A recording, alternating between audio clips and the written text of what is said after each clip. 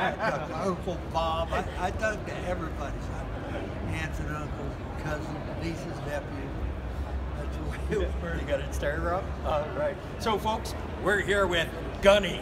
And if you don't know who Gunny is, well, then we shouldn't even be talking to Okay, them. on the count of three. Okay. Support the veterans, right? Okay. One, two, three. Itchy, knee, son. Support the veterans. Support the veterans. Red Shirt Friday.